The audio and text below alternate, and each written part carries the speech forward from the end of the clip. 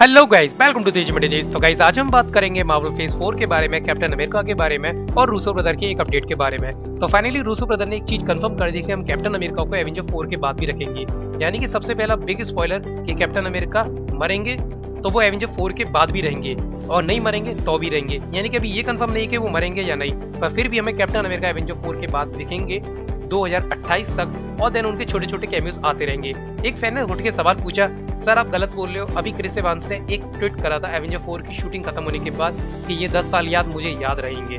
Then वो काफ़ी सब कुछ मिस कर रहे हैं। तो रूसो बदन ने कहा कि आपको एवेंजर फोर के बाद ये चीज़ समझ में आ जाएगी, उन्होंने ऐसा क्यों बोला? क्योंकि जो 10 साल और एवेंजर फोर का जो इवेंट है, वो उनके लिए काफ़ी महत्वपूर्ण था। तो इसलिए वो सब कुछ मिसिंग कर रहे थे, क्योंकि ऐसी पिक्चर इन फ्यूचर कभी नहीं बनेगी। ऐसा क्रिस एवांस ने बोला अपने ट्वीट में।